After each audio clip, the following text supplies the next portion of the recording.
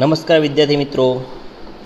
Last વિડીયોની અંદર આપણે little step one two three જોયું હતું. અને હવે જે આપણે શીખવાના છે લિટલ સ્ટેપમાં ફોર ફાઇવ સિક્સ બરાબર? તો એક્ટિવિટી વનની અંદર અહીંયા રાઇમ્સ આપેલી છે. સાંભળો, દોહરો અને અભિનય કરી ગાઓ આ બધી વસ્તુ વર્ગની અંદર કરવાની છે. અને અહીંયા આપણને કવિતા જે છે એ શું કહેવા માંગે છે આપણે જોઈ લઈએ. અને વર્ગ વર્ગની અંદર જ્યારે આપણે ઓનલાઈન શરૂ કરશું, આપણે ઓફલાઈન, ત્યારે તમને જે આવશે એ પ્રમાણે કહેતા જાશું. બરાબર? તો સૌથી પહેલો પ્રશ્ન છે અહીંયા વેર ઇઝ થમકિંગ વેર ઇઝ થમકિન થમકિન એટલે આપણે જે અંગૂઠાની વાત કરે છે. અંગૂઠો. તમારો અંગૂઠો ક્યાં છે? હિયર આઈ એમ તો હું અહીંયા છું એવું કે છે. How are you today sir how are you today sir એટલે અહીંયા તમને કેવું છે એવું કહેવા માંગે છે. આપણે દરેક વ્યક્તિને કેમ પૂછીએ છીએ હાવ આર યુ એવી રીતે અહીંયા પૂછે છે આજે તમે કેમ છો? સર એટલે સાહેબ. બરાબર? આજે તમે કેમ છો, સાહેબ? વેરી વેલ વેરી વેલ એટલે કે મજામાં. વેરી વેલ એટલે મજામાં. થેન્ક યુ એટલે તમારો આભાર. તો આ રીતે દરેક આંગળીને અલગ અલગ રીતે દર્શાવવામાં આવેલી છે માહિતી. પછી અહીંયા બીજો એક પ્રશ્ન છે વેર ઇઝ પોઇન્ટર પોઇન્ટર એટલે અંગૂઠા પછીની પહેલી આંગળી. બરાબર? તો કે પોઇન્ટર ક્યાં છે? હિયર આઈ એમ હું અહીંયા છું. How are you today sir તમે કેમ છો? સાહેબ વેરી વેલ મજામાં. થેન્ક યુ આભાર. તો આ રીતે દરેક પોએમ જે છે વેર ઇઝ ટોલમેન ચલો, પહેલાં અંગૂઠો, પછી પોઇન્ટર પછી વચ્ચેની જે આંગળી છે એને ટોલમેન કહેવાય. તો વેર ઇઝ ટોલમેન કે ટોલમેન તમે ક્યાં છો એમ? તો હિયર આઈ એમ હું અહીંયા છું. પછી how are you today sir how are you today sir તમે મજામાં છો? બરાબર? આજે તમે કેમ છો? એવું કહે છે. How are you today sir આજે તમે કેમ છો, સાહેબ? તો વેરી વેલ મજામાં. બરાબર? Thank you where is ring man ચલો, મોટી, સૌથી મોટી આંગળી, વચ્ચેની આંગળી પછીનું સ્થાન આવે છે રિંગ મેન જ્યાં જેને રિંગ મેન કહેવાય છે. Where is ring man ring man ક્યાં છે? હિયર એમ હું અહીંયા છું. How are you today sir લેવું કે છે કે આજે તમે કેમ છો, સાહેબ? વેરી વેલ મજામાં. થેન્ક યુ આપનો આભાર. વેર ઇઝ પિંકી છેલ્લી જે આંગળી છે, એને પિંકી કહેવાય. અને એને પૂછે છે કે પિંકી ક્યાં છે? એટલે હિયર આઈ એમ હું અહીંયા છું. How are you today ma'am જો બધામાં સર કીધું છે, બરાબર? દરેક શબ્દમાં સર શબ્દ વાપર્યો છે. પણ અહીંયા શું કે છે? જો મેમ મેડમ એવો શબ્દ વાપરેલો છે. તો આપણે કહી શકીએ, હું અહીંયા છું. વેરી વેલ થેન્ક યુ તમારો આભાર. તો બસ આ રીતે આખી પોએમ જે છે એ અહીંયા દર્શાવવામાં આવેલી છે. તો હવે આપણે આગળ જે મેઇન પાર્ટ છે એ સમજીએ. એટલે આપણને વધુ ખ્યાલ આવી શકે. બરાબર?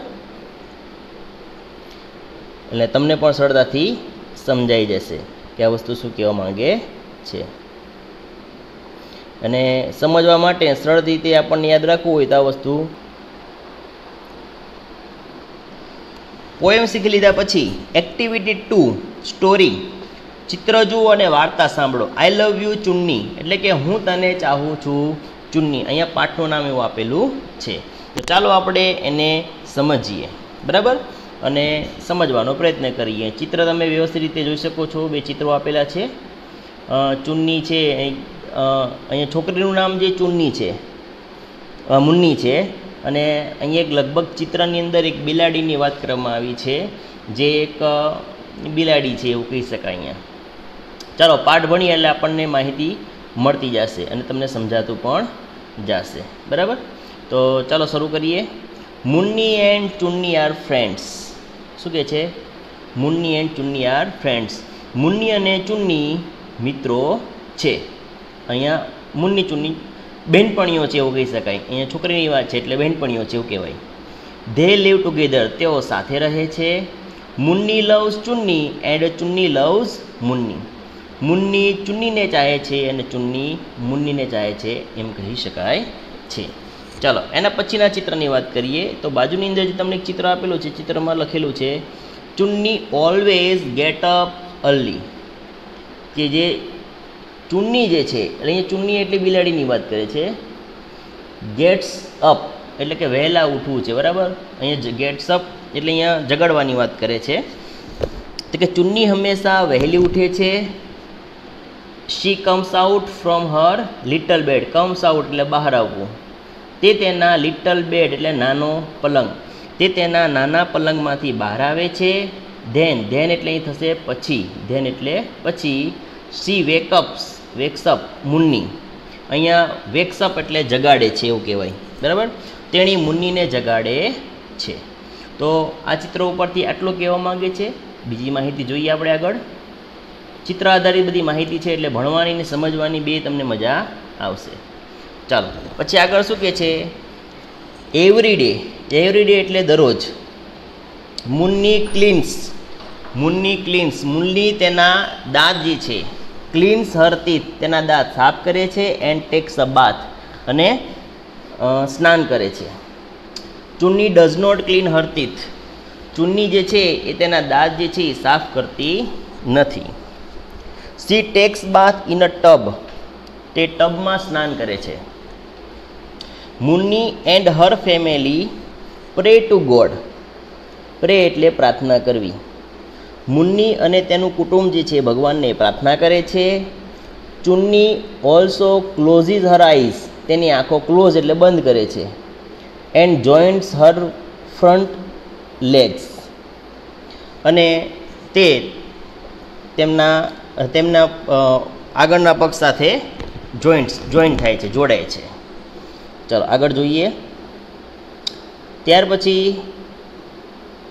Munni's mother prepares breakfast for them અહીંયા મુન્નીસ મધરની વાત કરે છે. મુન્નીની મમ્મી જે છે પ્રિપેર બ્રેકફાસ્ટ એટલે સવારનો નાસ્તો ફોર ધેમ તેમની માટે સવારનો નાસ્તો તૈયાર કરે છે. Munni does not drink tea drink એટલે પીવું. મુન્ની ચા પીતી નથી. She takes a glass of milk શું કહે છે? ગ્લાસ ઓફ મિલ્ક દૂધનો ગ્લાસ જે છે એ પીવે છે વિથ બ્રેકફાસ્ટ સવારના નાસ્તા સાથે. Chunni drinks milk from her bowl bowl એટલે વાટકો. ચુન્ની તેની વાટતીનીના વાડકામાં દૂધ પીવે છે. પછી આગળ. એટ ટેન ઓ ક્લોક દસ વાગે, Munni goes to school Munni શાળાએ જાય છે. સો તેથી ચુન્ની ઇઝ અલોન અલોન એટલે એકલી. અહીંયા અલોનનો મતલબ થશે એકલી. ચુન્ની જે છે, એકલી છે. સી સ્પેન્ડ્સ સ્પેન્ડ્સ એટલે પસાર કરવું. She spends the whole day whole day એટલે આખો દિવસ વિથ મુન્નીઝ મધર. કે ચુન્ની જે છે, એ મુન્નીની મમ્મી સાથે આખો દિવસ પસાર કરે છે. ક્યારે? જ્યારે મુન્ની જે છે, એ શાળાએ જાય છે, ત્યારે. ચલો નેક્સ્ટ ચિત્ર જોઈએ. એટ ફાઇવ ક્લોક પાંચ વાગે. Chunni waits for her friend at the doorstep એટલે કે દરવાજાના પગથિયા પાસે. અહીંયા ડોર સ્ટેપનો મતલબ છે બારણાનું પગથિયું. એ ચુન્ની જે છે એ દરવાજાના પગથિયા પાસે પાંચ વાગે રાહ જોવે છે. વેન જ્યારે મુન્ની કમ્સ મુન્ની આવે છે she runs towards runs towards એટલે તેની તરફ દોડવું. તેણીની તરફ તે દોડે છે. Munni picks her up. Munni picks picks her up. એટલે કે તેણીને ઉચકી લે છે. એન્ડ હગ્સ, હર હગ્સ એટલે ભેટવું. તેણીને ભેટે છે. ધેન પછી she gives her something to eat તેને કંઈક ખાવા માટે આપે છે. એટ ફાઇવ થર્ટી સાડા પાંચ વાગે Munni's friends Rehana, David and Asha comes to her house તેણીના ઘરે આવે છે. They all like Chunni. They all like Chunni. તે બધાને ચુન્ની ગમે છે. They play with a ball in the garden તેઓ તેની સાથે બગીચામાં રમે છે. સમટાઈમ્સ કેટલીક વખત they play hide and seek in their house તેઓ હાઇડ એન્ડ સીક એટલે કે સંતા કુકડી જે છે, તેઓના ઘરમાં રમે છે. તો આગળ વધીએ. ચલો લાસ્ટ બે પેરેગ્રાફ છે, બે ફોટોસ છે, અને એ પ્રમાણે આપણે જોઈએ. આફ્ટર ડિનર ડિનર એટલે રાતનું ભોજન. અહીંયા ડિનરનો મતલબ થશે રાતનું ભોજન. કે ડિનર પછી Munni does her homework and reads a story book Munni તેનું હોમવર્ક કરે છે અને વાર્તાનું પુસ્તક વાંચે છે. ચુન્ની સીટ્સ બી સાઇડ બી સાઇડ્સ એટલે બાજુમાં. Chunni sits beside her તેણીની બાજુમાં બેસે છે. સમટાઈમ્સ કેટલીક વખત Munni watches TV or plays on her small keyboard Munni જે છે કેટલીક વખત ક્યારેક ટીવી જુએ છે અથવા plays on her small keyboard તેનું એક નાનું કીબોર્ડ જે છે તે રમે છે. ચુન્ની એન્જોયઝ ધ મ્યુઝિક. ચુન્ની સંગીતનો આનંદ માણે છે. બીજા ચિત્રમાં જોઈએ. એટ ટેન ઓ ક્લોક દસ વાગે, Munni goes to bed Munni જે છે એ પથારીમાં જાય છે. Chunni does not like to sleep alone ચુન્નીને એકલા સૂવું ગમતું નથી. સી જમ્પ્સ તેણી કૂદે છે and sleeps in Munni's bed અને મુન્નીના બેડમાં જઈને સૂઈ જાય છે.